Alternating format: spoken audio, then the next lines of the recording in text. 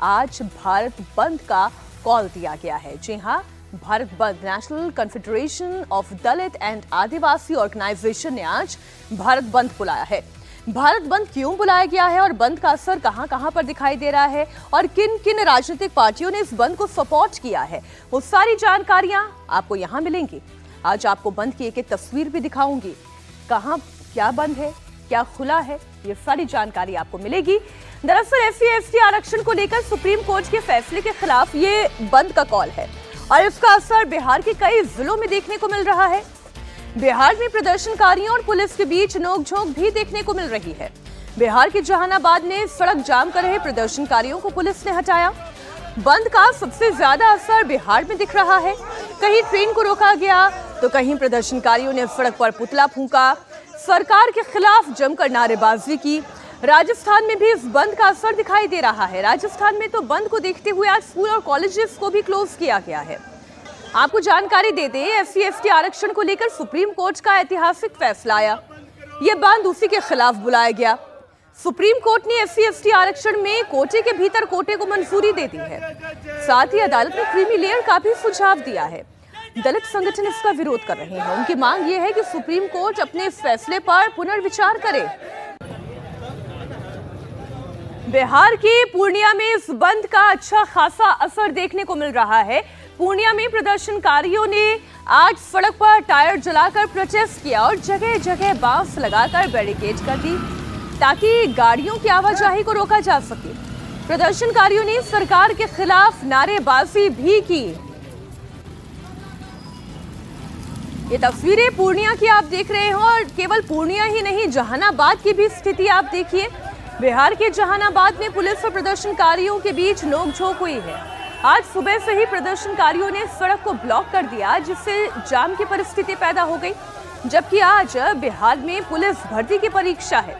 ऐसे में परीक्षार्थियों को एग्ज़ाम सेंटर में पहुँचने में दिक्कतों का सामना करना पड़ रहा है।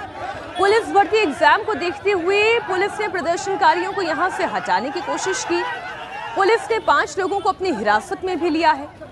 दरअसल नगर थाना क्षेत्र के ऊंटा मोड़ के पास प्रदर्शनकारी दो घंटे से बीच रोड पर खड़े थे, जिस वजह से ट्रैफ़िक जाम हो गया। पुलिस ने प्रदर्शनकारियों को समझाने की भरसक कोशिश की, लेकिन जब ये लोग हाथापाई पर उतर आए तो पुलिस के पास भी और कोई चारा नहीं था। उन्हें भी बल प्रयोग करना पड़ा। पुलिस ने कार्रवाई करते हुए पाँच प्रदर्शनकारियों को अपनी हिरासत में ले लिया है। आइए अब आपको बताती हूँ कि इस भारत बंद का असर कहाँ कहाँ पर देखने को मिल रहा है। बात बिहार से ही शुरू करते हैं, क्योंकि पूर्णिया की तस्वीर हमने आपको दिखाई, जहानाबाद की तस्वीर आपको दिखाई। पटना की एक स्थिति आपके सामने रख दूँ। पटना में भी भारत बंद का असर दिखाई दे रहा है। प्रदर्शनकारियों ने जगह जगह जाम लगाया है, जिससे दफ्तर आने जाने वाले लोगों को दिक्कत का सामना करना पड़ रहा है। भारत बंद के समर्थन में बीएसपी के कार्यकर्ता भी सड़क पर उतरे हैं। वो सुप्रीम कोर्ट के एस सी रिजर्वेशन में कोटे के भीतर कोटे के फैसले का विरोध कर रहे हैं। दरअसल सुप्रीम कोर्ट की संवैधानिक बेंच ने एक अगस्त को बड़ा फैसला सुनाया था, जिसमें एस सी आरक्षण में कोटे के भीतर कोटे को मंजूरी दी थी। इसका मतलब यह है कि अब एस सी आरक्षण में जातियों को उसके पिछड़ेपन के आधार पर आरक्षण दिया जा सकता है। और इसी बात का विरोध हो रहा है। सिलसिलेवार तरीके से आपको बताती हूँ। सुप्रीम कोर्ट ने इसके लिए कुछ शर्तें लगाई हैं।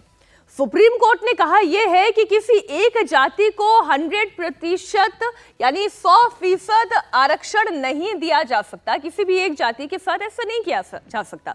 साथ ही जाति में उसकी हिस्सेदारी तय करने से पहले उसका अपना एक पुख्ता डेटा होना चाहिए, तभी ऐसा किया जा सकता है। और सिर्फ़ बिहार में ही नहीं, इस वक्त मैं भारत बंद की भी तस्वीरें आपको लगातार दिखाती चलती हूँ। इसका असर कहाँ कहाँ पर दिखाई दे रहा है, बिहार के बाद बात राजस्थान की कर लेती हूँ। राजस्थान में सरकार ने एहतियातन स्कूल और कोचिंग सेंटर्स की छुट्टी कर दी है। साथ ही भरतपुर में फ़िलहाल इंटरनेट सेवा बंद कर दी गई है। अलवर में रोडवेज़ की बसेस बंद हैं। पुलिस के जवान जगह जगह पर गश्त कर रहे हैं ताकि किसी भी तरह की अप्रिय घटना को रोका जा सके। प्रदर्शनकारी सुप्रीम कोर्ट के इस क्रीमी लेयर वाले सुझाव को भी रद्द करने की मांग कर रहे हैं। अब ये क्या है? ये आपको समझना है। सुप्रीम कोर्ट ने दरअसल एक सुझाव दिया और सुझाव ये था कि एस सी आरक्षण में क्रीमी लेयर को लागू किया जा सकता है। हालाँकि केंद्र सरकार ने साफ़ कर दिया है कि वो सी एस टी आरक्षण में क्रीमी लेयर के फॉर्मूले को लागू नहीं करने जा रहे हैं। प्रदर्शनकारियों की मांग है कि केंद्र सरकार सुप्रीम कोर्ट के सुझाव को रद्द कर दे।